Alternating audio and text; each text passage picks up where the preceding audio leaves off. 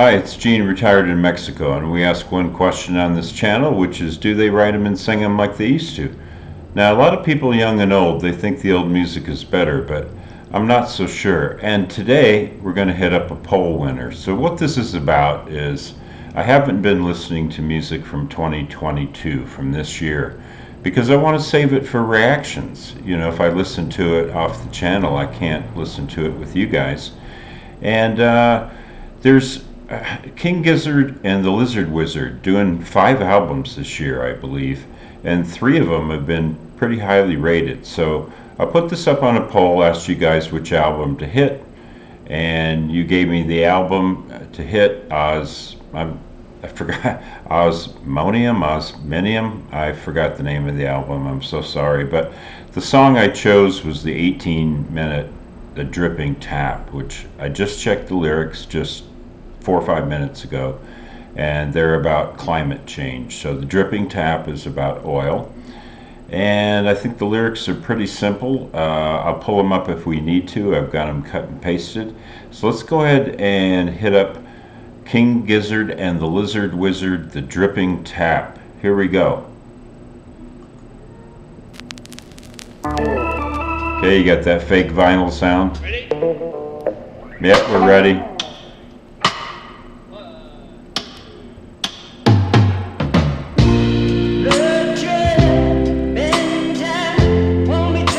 We got lyrics in Spanish and English. Excellent.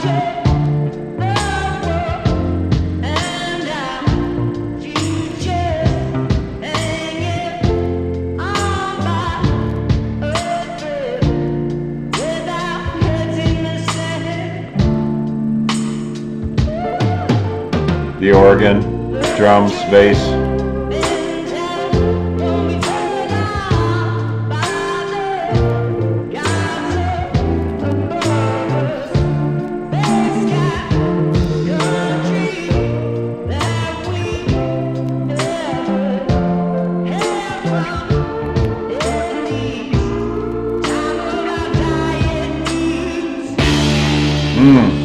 Comes the guitar. Mmm.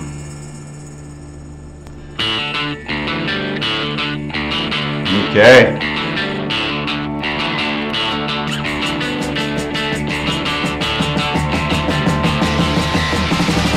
Mmm. Okay.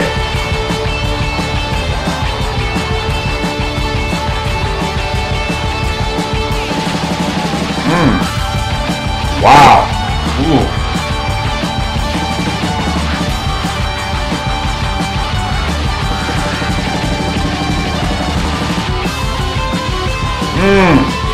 I did not expect this.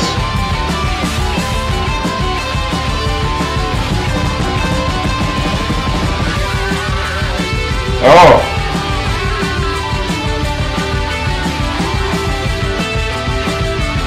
Rocking out.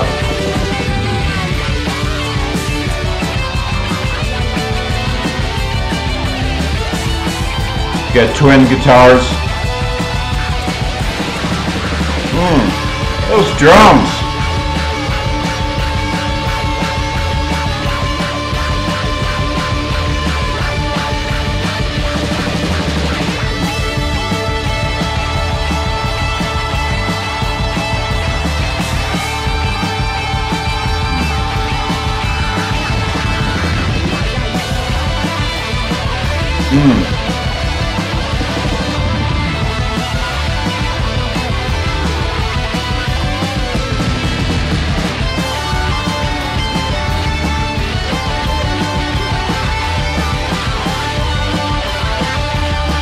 It's a long instrumental section. It's cool.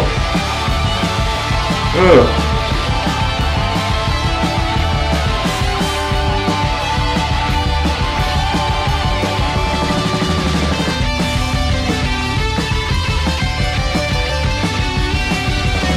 So much more rock and roll than I than I had anticipated.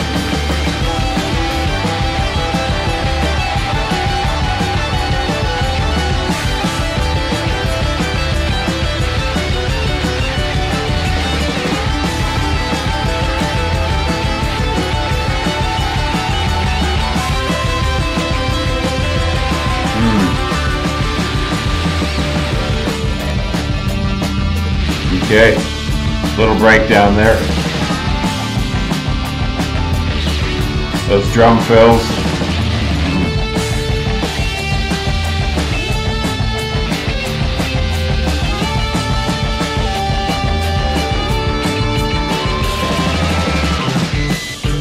Ooh.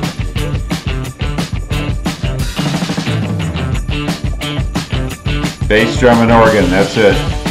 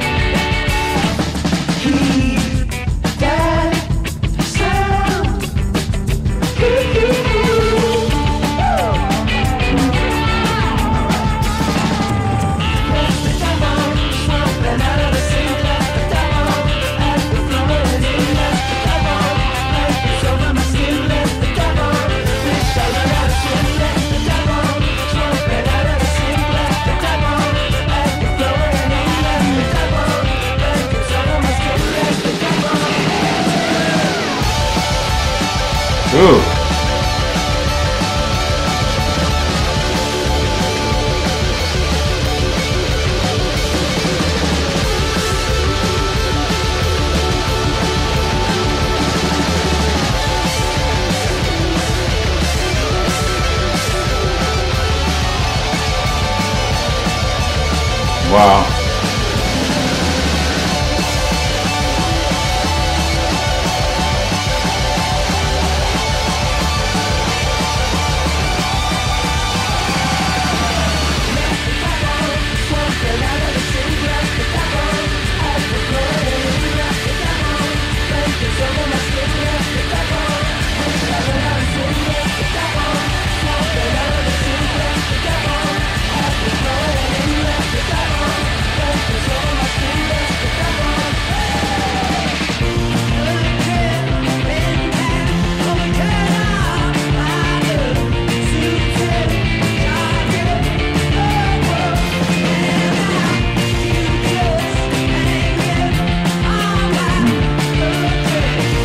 That bass, way up high on the neck. So they're talking about rising sea levels there. With a few yips and woohoos.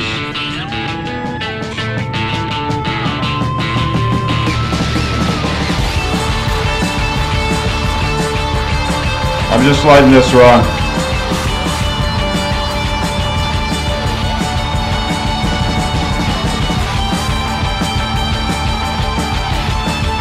I don't think they're gonna block this, I don't think.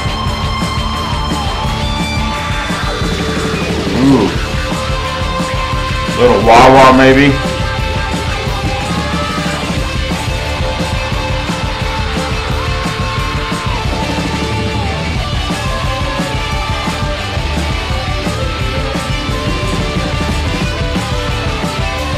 Listening to that bass right now.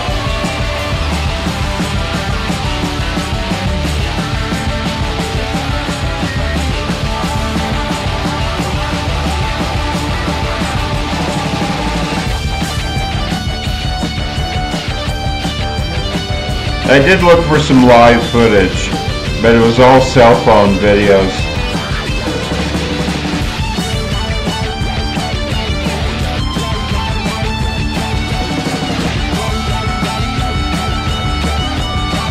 Wow.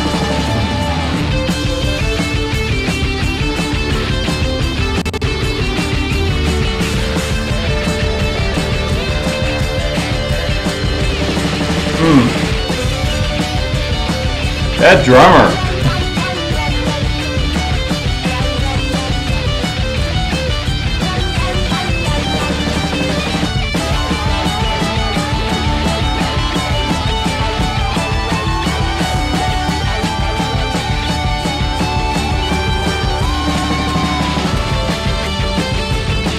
Little shaker.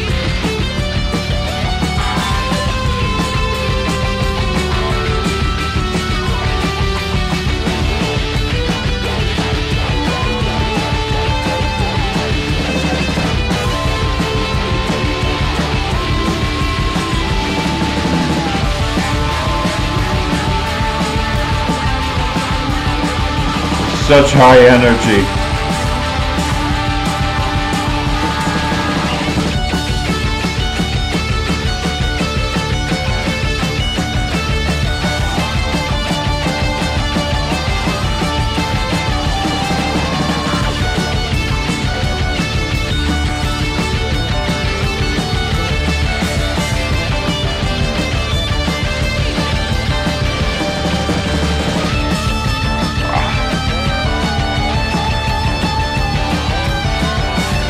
Guys, do not let up.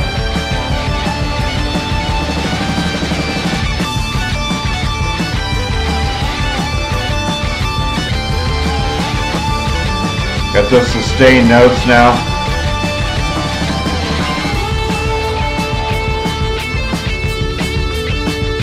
It's like a gallop now.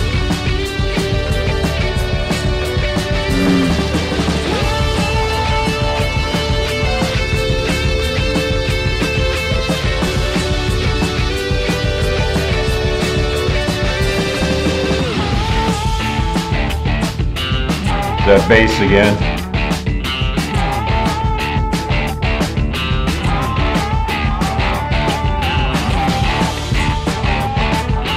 It's got a gritty, dirty tone.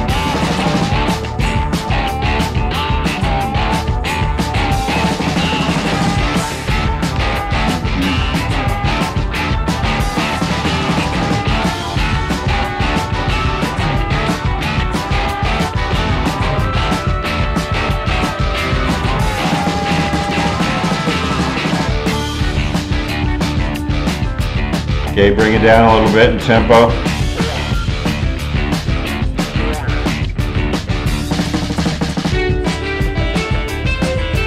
Mm. Get some nice melody there.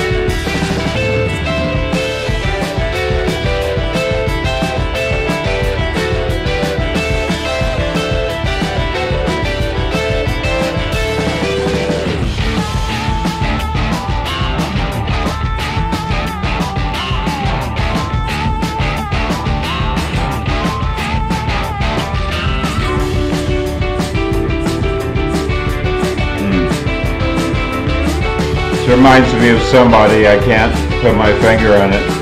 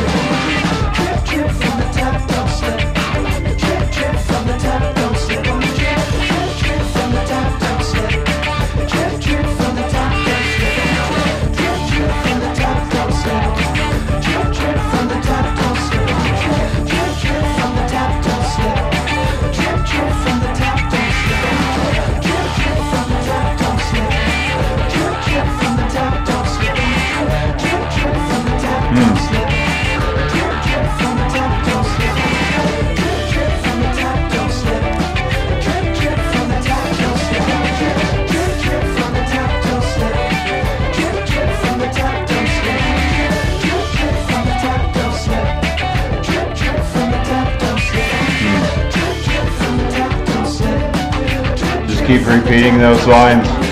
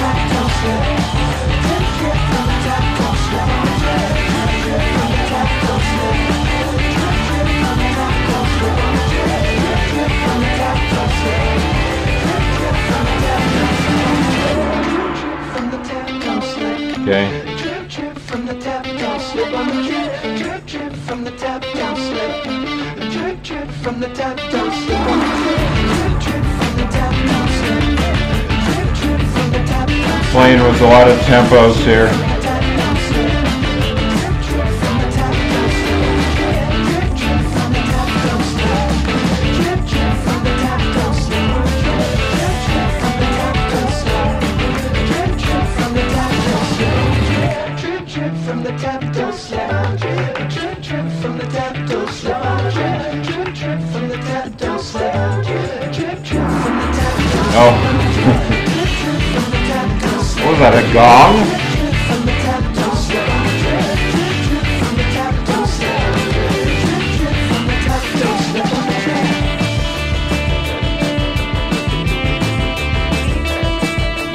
I like the urgency of the song given the subject matter.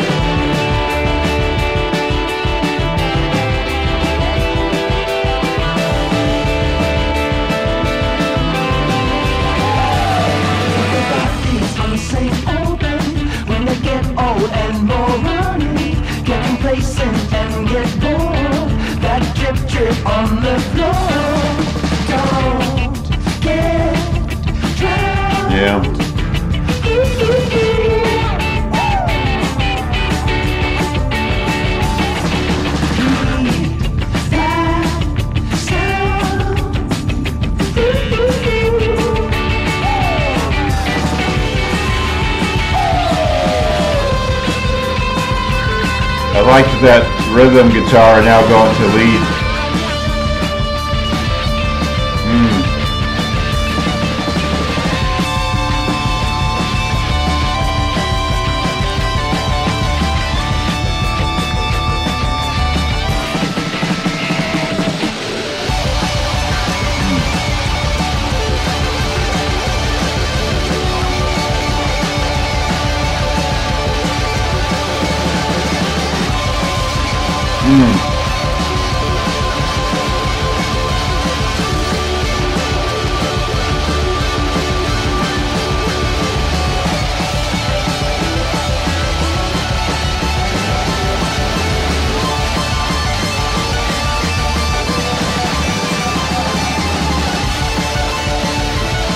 Sorry, there's not much of a picture to look at here.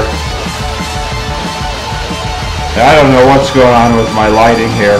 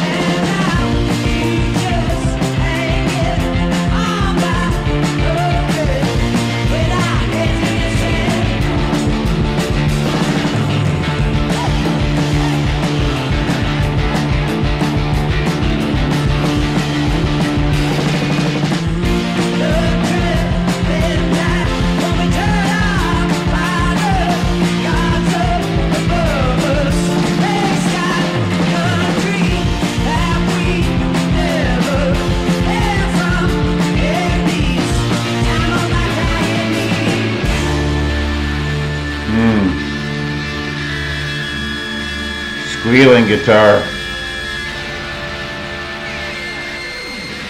Nice little ending there. Ooh. so what I'll say about this song, I like it quite a bit. Um, my real takeaway from this song is that I want to see it live for two reasons. Uh, one is because it's obviously a great high energy jam song to see in concert. But the others, because the only thing I really didn't like about the song was some of the vocal production early on uh, in the first half of the song. Um, so the there was that intentionally lo-fi on the introductory uh, verse, and you know, I, I, would just prefer that they they sing in a normal uh, vocal recording.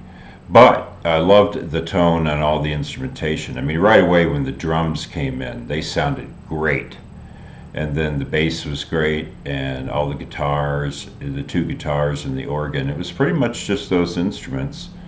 And like I say, I thought I heard the hit of a gong or something at one point, and uh, a, not, not a shaker, but a, a zzz, that little uh, instrument. I forget what that's called. Um, so a few added touches, but just a very basic thing, and that's why I think live it would be great. So if I saw this in concert, I probably would give it an A plus. As a recording, I'm going to give it like an A minus. Uh, I liked it a lot, and the subject matter is great. Uh, you know, the other reason I might dock the song a little bit, um, live 18 minutes, no problem. Sitting here at home, felt a little long. You know, the lyrics just keep repeating over and over again. Of course, thankfully, there's enough variety in the instrumentation behind it to keep it interesting. So I like the song a lot. I get why it's highly rated, and um, so a couple nitpicks on there. Primarily the vocal production. Um, I don't know, just not my favorite style there. But in concert, they probably would not use that vocal production. They probably probably would just sing into the mic, and I think I, I would like to hear that. So um, yeah, no no good live footage available right now that I could find. I'll just uh, I saw some cell phone video from Red Rocks and some other places, and that was it. So I'm going to keep it short. They're obviously killer players and killer musicians, and I always enjoy listening to this band. It's a serious subject matter, and they handled it with some ferocity and some urgency, but with some humor too uh, kind of mocking the complacency of people and the suits and so forth. And, you know, it's a wake up call, right? Let's get with it, folks. So, uh, yeah, yeah, I liked it quite a bit. So, thank you for suggesting this. The poll winner, King Gizzard and the Lizard Wizard, the Dripping Tap. And if you like what we're doing here, a senior reacting to the new music, in this case, 2022. Uh, hit that like or subscribe button, and as we say here in Mexico, buen dia.